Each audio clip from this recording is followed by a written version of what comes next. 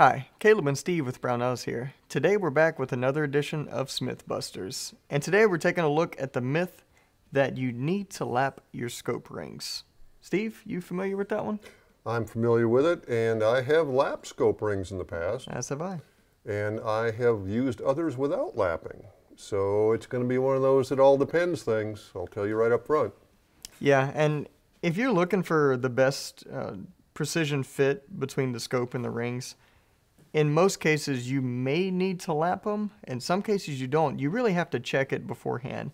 And whenever we say lapping the scope rings, what we're actually talking about is lapping the inside of the rings themselves so that they are perfectly aligned with the scope tube uh, so that you get a nice uh, good contact all the way around the tube itself and you're not putting any extra pressure on one way in the scope tube rather than the other uh, so that's the purpose of lapping it now that we got have that established um, whenever you take a look at one of the precision rings like this right here it's all built on one piece uh, it's precision machined. These Spuhr mounts with the, with these, you really get what you pay for. Yep. They're they're designed so that you don't have to lap them. You're, you're not going to have to lap these. Now that's not to say that it has to be a one piece setup to be precision machined. You can have that in two piece setups. You can, especially if you've got a good solid rail to start with. yeah, The tops of an AR are usually machined pretty well. When you Yep. clamp on a good set of tactical rings or something,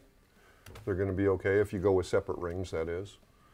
Um, but sometimes you're taking your chances with iffy mounts and, you know, some of the stuff is extruded, it's not precisely machined, and your scope rings might not be exactly in line with each other.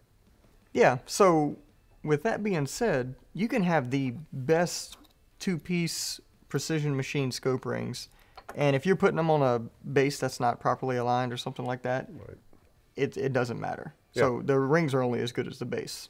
And you want to avoid putting pressure on your scope tube. Yep. You don't want to crimp it or put pressure on it to uh, keep it under tension the whole time.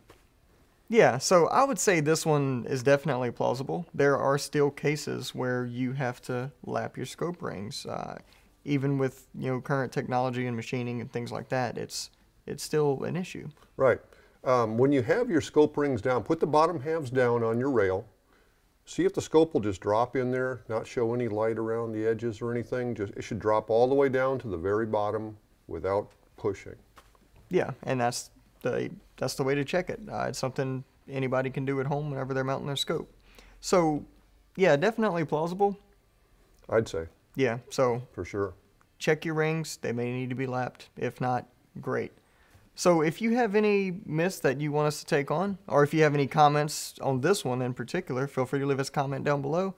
And as always, give us a call on the tech line. We'll be happy to help you out. So thanks for joining us, and we'll catch you next time on another edition of Smythbusters.